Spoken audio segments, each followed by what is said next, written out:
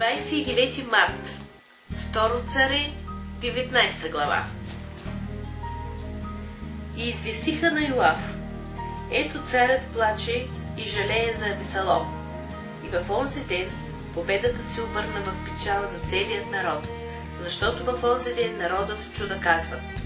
Царят скърби за сина си. И през онзи ден мъжете влизаха в града скришно, като посрамени войни, които бягат от сражението. А царят покри лицето си и викаше царят със силен глас. Сине мой, Ависаломе, Ависаломе, сине мой, сине мой. Тогава Йоав влезе пред царя в къщата и рече. Ти посрами днес лицата на всичките си слуги, които опазиха днес живота ти и живота на синовете ти и на дъщерите ти, живота на жените ти и живота на наложниците ти.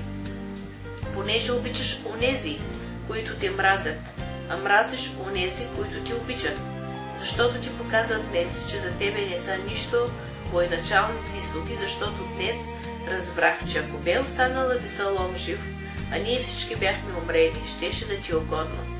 Сега стани излез и говори насърчително на слугите си, защото се заклевам Господа, че ако не излезеш, няма да остане с тебе тази нощ ни един човек, а това ще бъде по-лошо за тебе от всички злини, които са ти сполетели от младостта ти до сега. Тогава царят стана и седна в портата. И съобщиха на всички люди, казвайки, ето царят седи при портата. И всички мъже дойдоха пред царя. А Израел беше побягнал, всеки в шатъра си. И целият народ от всички израелеви племена се препираше, казвайки, Царят ни избави от ръката на неприятелите ни, освободи ни от ръката на филистимците, а сега побягна от земята заради Ависалом. А сега Ависалом, когато помазахме за цар над нас, умря в сражение. Защо тогава не говорите нищо за завръщането на царя?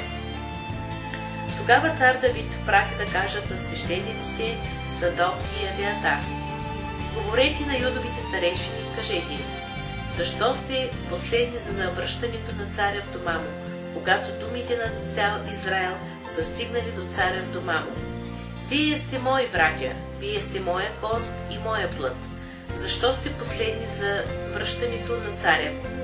А най-вече на Амаса кажете, не силите моя кост и моя плът, така да ми направи Бог, да, и повече да прибави, ако не бъдеш ти завинаги военачалник при мене вместо Йоав. И той склони сърцата на всички юдови мъже, като на един човек, така че те пратиха да кажат на царя, върни си ти и всички твои слуги. И тъй царят се върна, дойде до Йордан, а Юда дойде до Галгал, за да иде да посрещне царя и да приведе царя през Йордан. Тогава Вениаминицът Семей, Гераевият син от Баурим, побърза да слезе с юдовите мъже да посрещне цар Давид.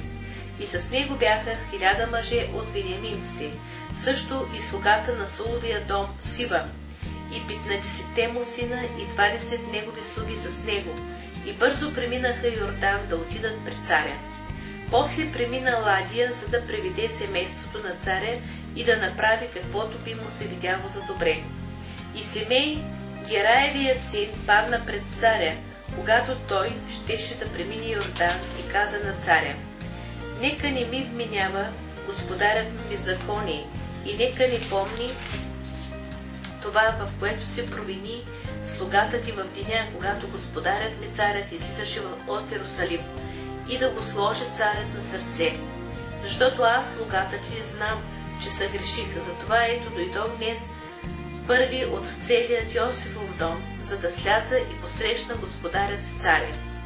Но Овисей Сарония син проговори, не трябва ли да бъде убит семей, за гдето прокле Господния помазани?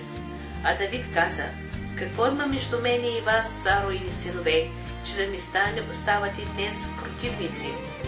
Бива ли да бъде убит човек днес в Израел? Нима не знае, че днес аз съм цар над Израел. И царят каза на семей, няма да умреш, и царят му се закле. Също и Сауловият син, Мемфостей, слезе да посрещне царя. Той нито нозете си беше умил, нито брадата си пригладил, нито дрехите си изпрал от деня, когато царят беше заминал, до деня, когато се върна с мир. А когато дойде от Иерусалим да посрещне царя, царят му рече, защо не дойде с мене, Мефостее? А той отговори, Господарю мой, царю, слугата ми ме измами, защото аз, слугата ти, си казах, ще си оседла един осел, за да се кача на него и да ида с царя, понеже слугата ти куца. А той е наклеветил слугата ти на господаря ми царя, но господарят ми царят е като Божия ангел. Стори каквото ти се вижда угодно. Защото целият ми бащин дом можеше да се определи за смърт от господаря ми царя, но при все това ти постави слугата си сред онези, които я едяха на трапезата ти. За това какво право имам аз да се оплаквам още на царя? И царят му рече, защо продължаваш да говориш за работите си? Аз казвам, ти и Сива си разделете земите. А Мефостей отговори на царя. И всичките нека вземе той, понеже господарят ми царят се е завърнал с мир в дома си. Също и галарицът Верзелай слезе от Рогелин и премина Йордан с царя, за да го изпрати от татък Йордан. А Варзелай беше много стар, на възраст 80 годишен и беше прехранвал царя, докато живееше в Маханаим, защото беше много богат човек. И царят рече на Верзелай, премини с мене и ще ти издържам при себе си в Иерусалим. А Верзелай каза на царя, колко са на брой годините на живота ми, че да отида с царя в Иерусалим.